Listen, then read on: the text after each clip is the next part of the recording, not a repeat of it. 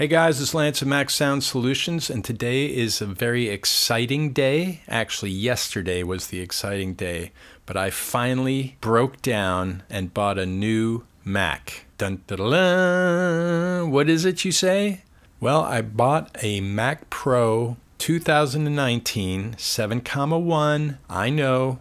Oh, you should have gotten an M2. You know me, I love to tinker, and you cannot tinker with an M2. Sure, it might be lightning fast, but how much RAM can you put in that thing? If you do, it's going to cost you an arm and a leg. This has 96 gigs of RAM. It's a 16 core. It's brand new. Now, this is the interesting story about this that these came from Facebook, from Meta, that they had a huge shipment of them. They were not the sellers, but the seller, iPower Resale on eBay, picked up probably about a hundred of these things, and they're just blowing them out for a tiny bit over two grand. And a shout out to Johnny McPro, fellow YouTuber, who also picked up one of these Mac Pros, and he was the one who found out that they came directly from Meta. The other clincher was it's brand new, unopened box.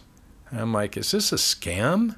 Normally that'd be going for way over $3,000. So I was a little skeptical, but I looked it up. iPower Resale, they're a huge seller on eBay. And if you bought it directly from them, I found out later, you would have saved a hundred bucks. So it turns out that these Mac Pros, once you unboxed it, got it open, has a little sticker on it uh, with a barcode saying, call this number if you find this computer or something like that. I have to put that on the screen. It's pretty funny. Apparently, they bought a huge amount of them and they never opened the box. It was exactly what I had ordered. I unpacked it. There was a big punch in the box, but these boxes are as heavy as the computer itself, and they're really thick walled boxes, so they can sustain UPS and FedEx. The computer was in perfect condition, and it unwrapped just like a brand new one because it was, but the odd thing is is that sticker is on the computer itself.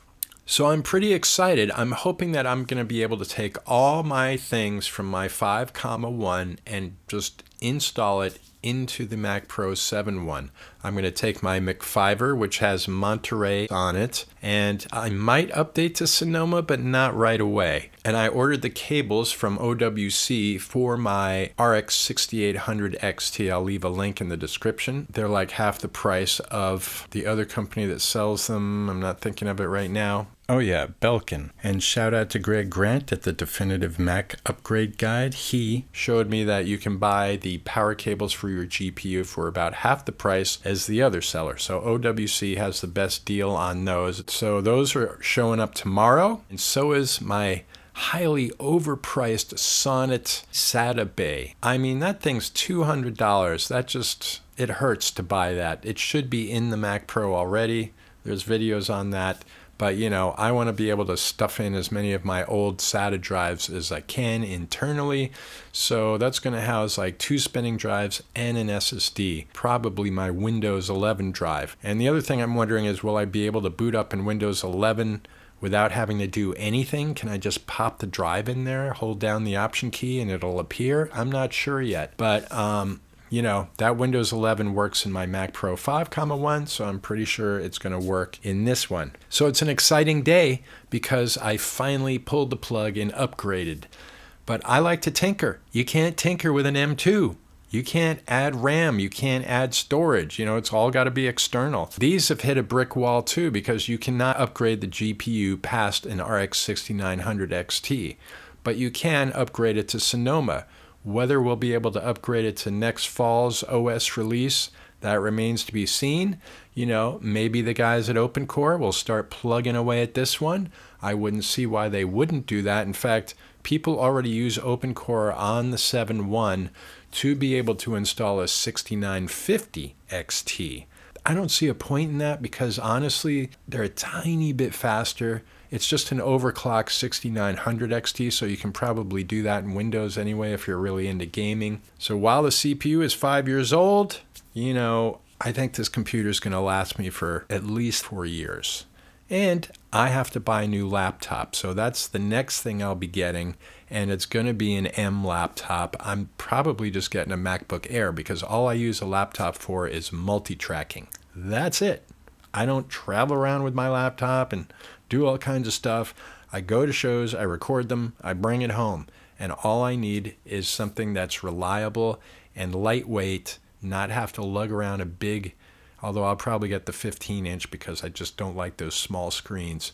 I'm going blind in my old age. So, anyway, that's the news. As far as my OpenCore following goes here on my channel and my 5.1, I'm not getting rid of it. I'm going to put my RX 5700 into it and I'm going to keep it going for a while. Will I sell it eventually? Maybe, but I have to transition all my stuff over, so that's going to take a little while. And it's an old friend. I've had it for so long. What am I going to get for it? Like 200 bucks? You know, with the video card, I'll get a little more than that.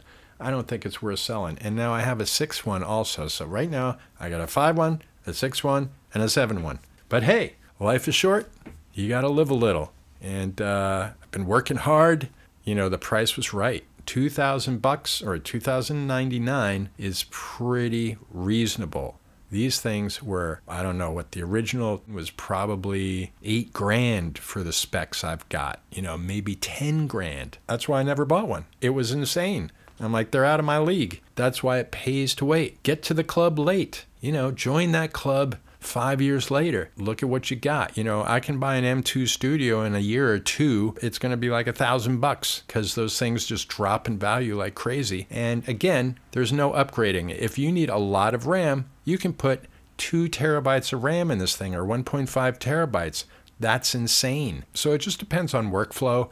I do audio, audio, audio and I do my YouTube edits, but and I do some live music concert edits, but I am not a full-time video editor. I'm not working with raw footage. I'm not using 8K cameras. None of that. I am an audio guy. As you can see, this is where my work is done.